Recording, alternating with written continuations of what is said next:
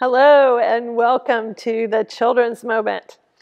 Jesus tells us a story today that has some people in the story getting all grumbly and kind of frustrated. So I want to give you a summary of the story, and I'm going to read the scripture right after the Children's Moment so you can listen to the whole story.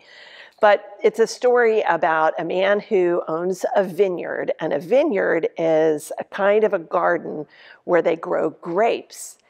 Um, so this man owns a vineyard and he goes out early in the morning and he hires some people to come work in his garden. And he says, Come work for me and I will pay you the usual daily wage. And they say, Great, we're going to come and work. So they go into the vineyard. Well, that same um, landowner goes out maybe around lunchtime and he sees some more people that are looking for work and he says hey come and work in my in my vineyard and i will pay you what's expected. Okay great. Then maybe it's like there's only an hour left in the day to work and he goes out and there's still some people there that need work. And he says come on come work for me and i will pay you what's right. So they said okay. So at the end of the day the landowner goes to his manager and he says, okay, let's, we got to pay everybody before they go home. And he says, what I want you to do is I want you to pay the ones that started last. I want you to pay them first. So he does just that. And he, so he calls the ones that started last and he gives them a denarius, which was the amount of money you got for working for a day, all you needed for the day. Then he called the ones that started in the middle of the day. They got paid a denarius.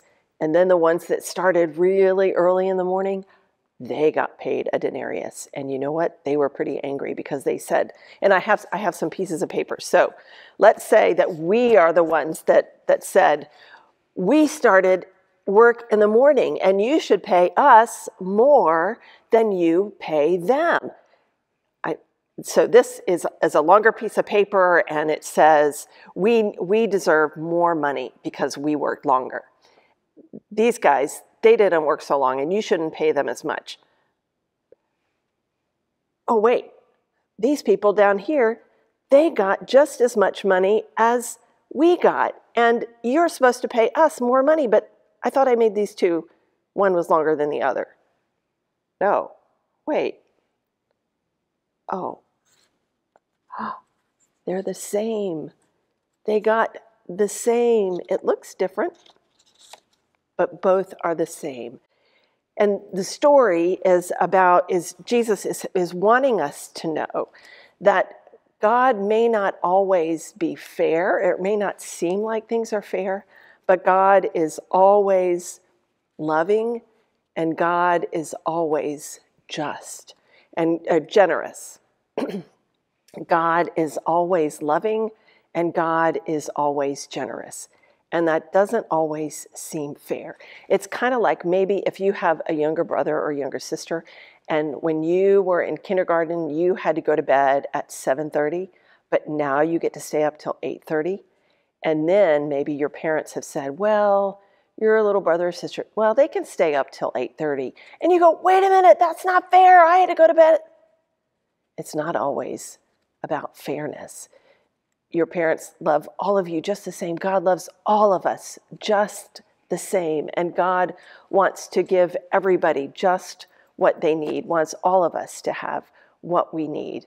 Um, so it's a really hard story, but it's but it's a good story because it tells us important things that God loves everybody the same. God doesn't love us more than them.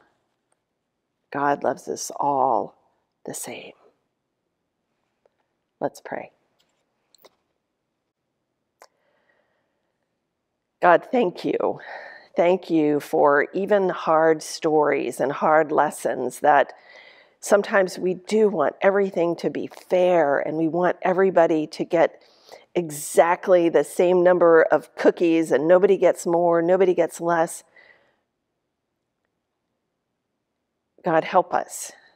Um, it's a lesson that we have to learn in our hearts. It's a lesson about loving and wanting to love like you love. So help us to always, always know that you love us beyond what we can even imagine, and that you love everybody just the same as you love us. God, thank you for these young ones and their families. I pray a blessing on them. And I pray in Jesus' name, amen.